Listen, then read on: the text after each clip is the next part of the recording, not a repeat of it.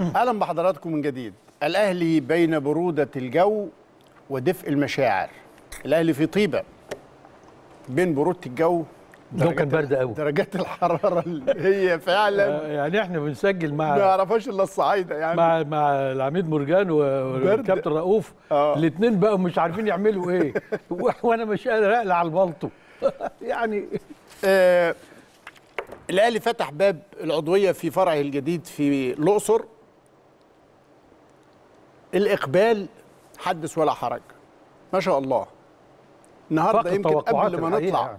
آه. قبل ما نطلع هوا على طول كنت بسأل الأستاذ محمد كامل رئيس شركة استادات المتعاقدة مع الأهلي على هذه الوحدة الاقتصادية الهائلة جدا. قال لي الإقبال رائع جدا. الثلاث أو ربما الأربع غلق باب المرحلة الأولى لأنه تقريبا الفرع بيستوفي العدد المستهدف في المرحلة الأولى حسب الطاقة الاستيعابية للنادي فبالتالي ما عادش فيه فرصة يمكن إلا الثلاث أو ربما الأربع ويغلق باب القبول في المرحلة الأولى لهذا الفرع الجديد اللي مثل نقلة نوعية كبيرة جدا في حلم الصعايدة في فكر الصعايدة في مشاعر الصعايدة في إن الناس ترتبط بالأهلي وشعاره ومكانته ورسالته يا باشمهندس. دي صور بس نفهم الناس اللي على الشاشة. آه. المقر بتاع آه، التعاقدات أو أعضاء هم عمالين بياخدوا العضوية في آه، في مكتبة مصر. مكتبة الأقصر. آه مكتبة مصر العامة في الأقصر. آه. ده المقر اللي بيستقبل رغيب العضوية. والحقيقة يعني اللي شفناه إن اللي كان هم بيدوا العضوية بيدوا معاها فانيلا للنادي الأهلي. أيوه. بيطلع ماسك الفانيلا ويدور على أي مسؤول يمضي له عليها. لقونا في وشهم. يعني مضيت كام فانيلا يا أستاذ إبراهيم؟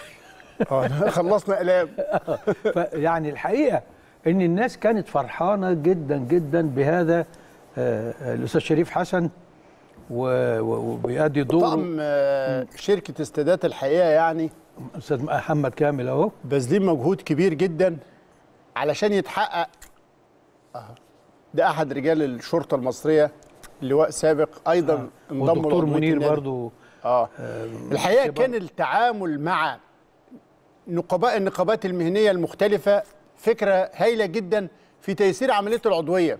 إنك تلاقي نقابة الأطباء نقابة الصيادلة نقابة المهندسين نقابة حتى المعلمين كل النقابات ال- المهنية المعنية النقابات طلبت آه، حرصه تيجي. عضويات جماعية. الأستاذ محمد كامل قال لهم لا نأجل دي.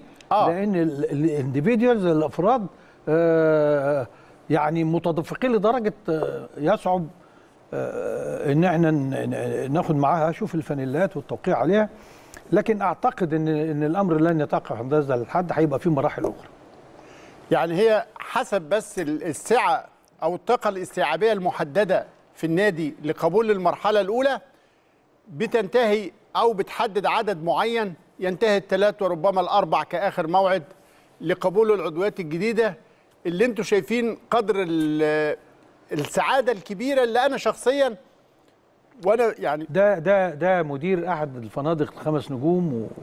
لا رجال السياحة أنا عايز أقول لك على حاجة. آه. صديقنا العزيز هشام مبارك.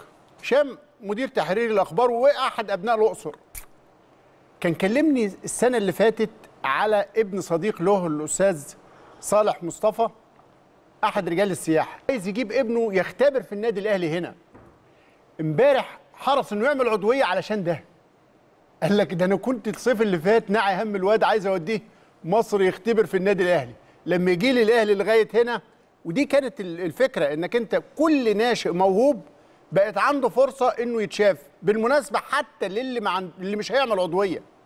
يعني اللي ظروفه ما تسمحش إنه يعمل عضوية في فرع الأهلي في الأقصر.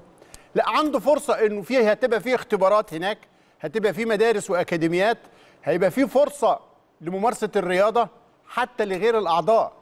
ممكن تكون برسوم مختلفة لكن اللي عنده موهبة هتبقى عنده فرصة يتشاف باستمرار من عيون الأهلي لأنه كمان الكابتن خالد بيبو كان موجود مدير الأكاديميات علشان يؤسس لافتتاح فرع لأكاديمية الأهلي في طيبة. لازم الناس تفهم كيف يعمل الأهلي العميد محمد مرجان على رأس فريق من الإدارة التنفيذية بالكامل كان موجود. بكل آه، آه، يعني الإدارة الهندسية آه، الاشتراكات النشاط الرياضي، الحسابات. عماد حلمي النشاط الرياضي. الاشتراكات آه, كله, كله. آه، ال- أكاديميات الكورة. مدير الإدارات المختلفة كلها. علشان تؤسس للنموذج اللي هيعمل وعلى أساسه آه، آه، إدارة هذا هيمشي على الكتالوج بتاع النادي الأهلي. ف آه، شوارب ع- عجبته القعدة في الصعيد قال لك عايزين فرع الملك وكتابه هناك. طيب